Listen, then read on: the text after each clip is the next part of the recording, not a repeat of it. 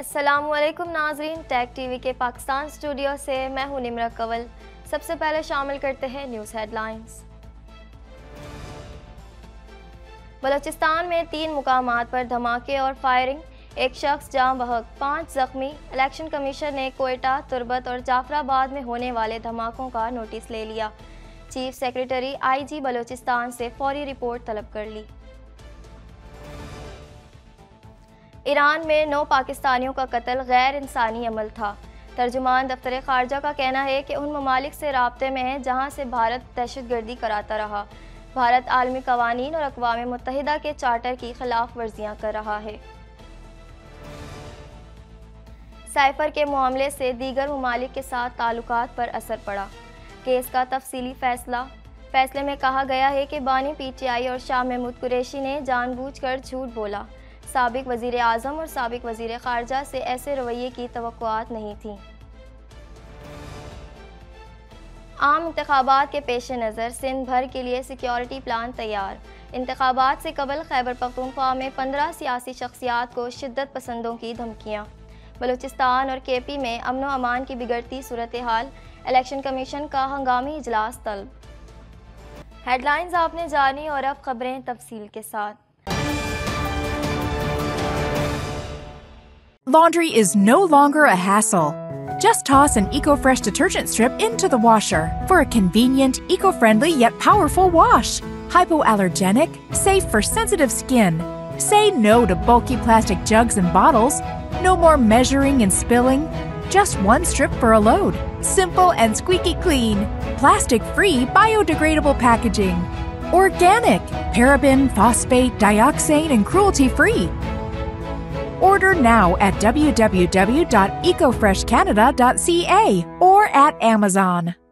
क्या आप कनाडा की इमिग्रेशन और सिटीजनशिप लेना चाहते हैं या कनाडा में स्टडी करना चाहते हैं लाइटो इमिग्रेशन न सिर्फ़ आपको कनाडा की इमिग्रेशन और सिटीजनशिप दिलवाने में आपकी मदद कर सकते हैं, बल्कि आपको कनाडा में सेटल और इन्वेस्ट करने के रास्ते भी सुझा सकते हैं Lito Immigration is a regulated Canadian immigration consultant.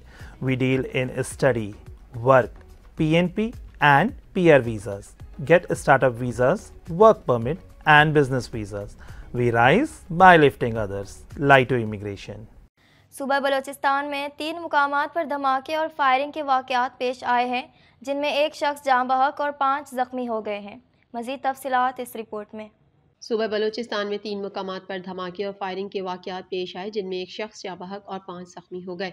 जबकि इलेक्शन कमीशन ने कोयटा, तुरबत और जाफिराबाद में होने वाले धमाकों का नोटिस ले लिया और चीफ सेक्रेटरी आईजी बलूचिस्तान से फौरी रिपोर्ट तलब कर ली है। तफसीत के मुताबिक बलूचिस्तान के दारुल हुकूमत कोयटा में सी पैक रोड पर सड़क किनारे बम धमाका हुआ, जिसमें एक शख्स जाबहक हो गया। पुलिस ने इलाके को घेरे में ले लिया है और तफ्तीश जारी है। पुलिस हुकाम का कहना है कि जाबहक शख्स राहगीर मालूम होता है। SSP operations SSP Jawad Tariq के मुताबिक धमाके में आठ से दस किलो धमाका खेस मवाद इस्तेमाल किया गया। उन्होंने कहा जाबहक शख्स की शनाख्त के हवाले से तहकीकात जारी हैं जाए धमाके की हदूद में कोई इंतबी प्रोग्राम नहीं था। शहर में इंतबी गहमा, गहमी के हवाले से सिक्योरिटी हाई अलर्ट है। जाफराबाद के इलाके डेरा लयार में कौमी शाहरा पर होटल के करीब दस्ती बम हमला हुआ, जिसमें चार अफराद जख्मी हो गए। पुलिस का कहना है, हमला एक ट्रक के करीब हुआ। तीसरा वाक़ तुरबत शहर में पेश आया है, जहाँ गुलाम नबी चौक पर धमाका हुआ और फायरिंग की गई, जिसमें एक शख्स जख्मी हो गया। पुलिस का कहना है कि धमाके के बाद इलाके को घेरे में ले लिया गया है। दरी असना तर्जुमान इलेक्शन कमीशन ने कहा है कि आज बलूचिस्तान में होने वाले धमाकों का नोटिस लेते हुए इलेक्शन कमीशन ने चीफ सेक्रेटरी और आईजी बलूचिस्तान से फौरी रिपोर्ट तलब कर ली है। दफ्तर खारजा की तर्जुमान मुमताज़ जहरा बलोच ने कहा है कि ईरान में नौ पाकिस्तानियों का कत्ल गैर इंसानी अमल था। भारत पाकिस्तान में दहशत गर्दी में मुलविस है। उन ममालिक से रबते में है जहाँ से भारत दहशत गर्दी कराता रहा। मज़ीद जानेंगे इस रिपोर्ट में। दफ्तर खारजा की तर्जुमान मुमताज़ जहरा बलोच ने कहा है कि ईरान में नौ पाकिस्तानियों का कत्ल गैर इंसानी अमल था। भारत पाकिस्तान में दहशत गर्दी में मुलविस है। उन ममालिक से रबते में है जहाँ से भारत दहशत गर्दी कराता रहा। तर्जुमान दफ्तर खारजा मुमताज़ जहरा बलोच ने हफ्तावार मीडिया ब्रीफिंग में कहा कि ईरान में पाकिस्तानी हुकाम मुतल हुकाम के साथ रबते में है। गुजशत रोज़ नौ पाकिस्तानी शहरियों की मैयतें ईरान से पाकिस्तान वापस लाई गई हैं। तो है कि तहकीकात मुकम्मल होने पर ईरानी हुकाम वाक़े की तफसीत पाकिस्तानी हुकाम से शेयर करेंगे। उन्होंने कहा कि ईरानी हुकाम से अच्छी कम्युनिकेशन हुई है।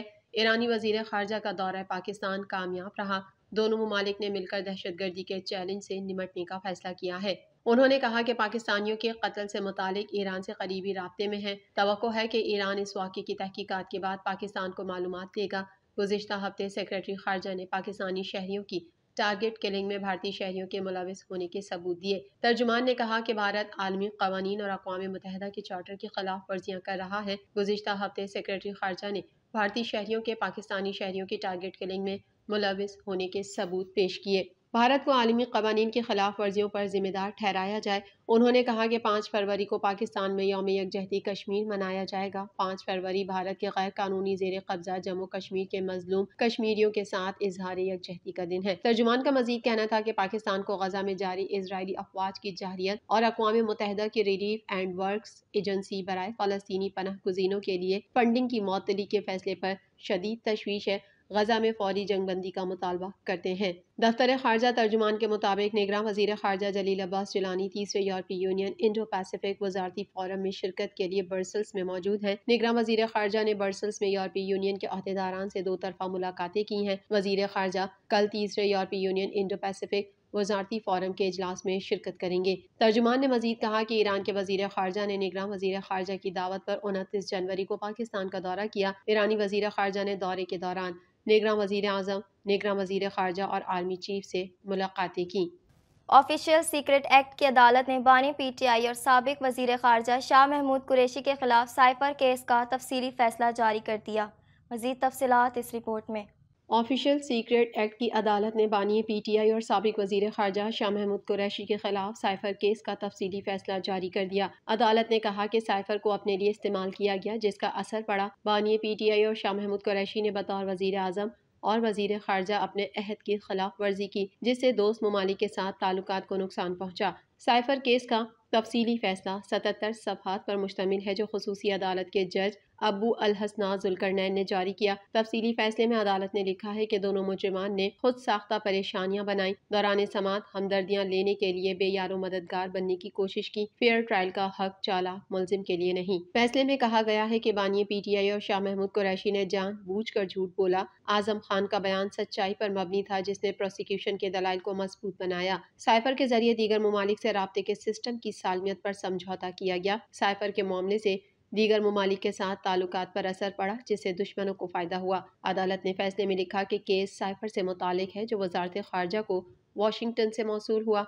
साइफर बहुत हसास दस्तावेज़ है, जिससे अमेरिका पाकिस्तान का एक दूसरे पर भरोसा भी जुड़ा है। 25 गवाहान के बयान कलम बंद किए गए, लेकिन वकला सफ़ाई गैर संजीदा दिखाई दिए। 27 जनवरी को वकला सफ़ाई गैर हाजिर थे। सरकारी वकील मौजूद था। अदालत के फैसले में कहा है कि बानी पी टी आई और शाह महमूद कुरैशी के मुख्तलिफ़ वकला आए, दरख्वास्तें देकर ताखीरी हरबे अपनाए गए। दोनों के वकला ने कानून का मज़ाक बनाया। सबक वज़ीर अजम और शाह महमूद कुरैशी का रवैया अदालत के सामने था। नकुल, फरहमी और फर्द जुर्म पर दोनों ने दस्तखत नहीं किए, जिससे नामुनासिब रवैया साबित हुआ।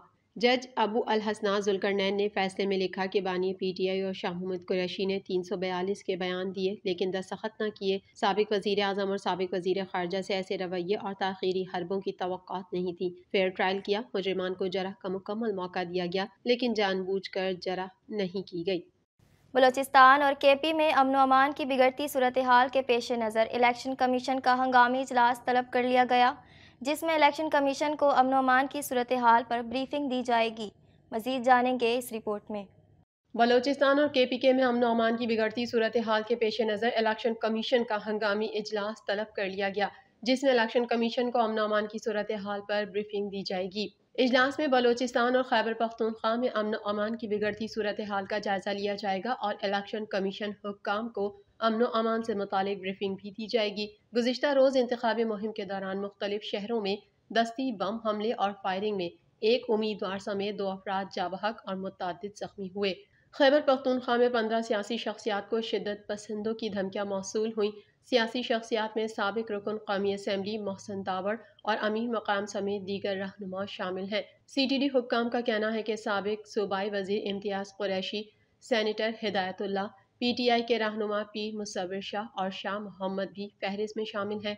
सी टी डी के मुताबिक सियासी शख्सियात को मिलने वाली धमकियों से मुतल तमाम अजला की पुलिस को आगाह कर दिया गया है। मुतल अजला की पुलिस सियासी शख्सियात को सिक्योरिटी फराहम करेगी। मुल्क भर में आठ फरवरी को होने वाले आम इंतबात के पेश नज़र सिंध भर के लिए सिक्योरिटी प्लान तैयार कर लिया गया। DG ranger Sindh major general Azhar Waqas की जेर सदारत होने वाले आला सतह इजलास में आईजी पुलिस, सूबाई election commissioner additional IG Karachi और दीगर हसास इदारों के नुमाइंदों ने शिरकत की। इजलास के दौरान कानून नाफिज करने वाले इदारों ने सूबे भर में जनरल इलेक्शन के दौरान सिक्योरिटी को यकीनी बनाने के लिए किए जाने वाले इकदाम का तफसीली जायजा लिया और लाहा अमल की मंजूरी दी। दौरान इजलास फैसला किया गया कि रेंजर्स और पुलिस की जानब से आम इलेक्शन के दौरान मुश्तर फ्लैग मार्च और स्नैप चेकिंग के अमल को मजीद मौसर बनाया जाएगा।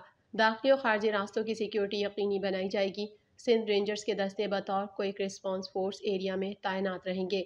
इजलास में इस बात पर ज़ोर दिया गया कि जनरल इलेक्शन के हवाले से सूबाई हुकूमत और इलेक्शन कमीशन की तरफ़ से दिए गए अहकाम की रोशनी में मुरवजा कवानीन और जबता अखलाक की मुकम्मल पासदारी को हर मुमकिन तौर पर यकीनी बनाया जाएगा और खिलाफ वर्जी करने वाले अनासर के खिलाफ सख्त तादीबी कार्रवाई की जाएगी। इलेक्शन कमीशन ने कौमी असम्बली के हल्का एन ए आठ बाजोड़ खैबर पख्तूनख्वा की नशस्तों पी के बाईस और पी के इक्यानवे पर इलेक्शन मुलतवी कर दिए। बाजोड़ में आज़ाद उम्मीदवार रेहान जेब खान के कत्ल के बाद कौमी और सूबाई असम्बली के नशस्त पर इलेक्शन मुलतवी किया गया। पी के इक्यानवे को हाट में उम्मीदवार के इंतकाल की वजह से इलेक्शन मुलतवी कर दिए गए। इलेक्शन कमीशन के मुताबिक पी के इक्यानवे को हाट के उम्मीदवार असमतुल्ला खटक का तीस जनवरी को इंतकाल हुआ था।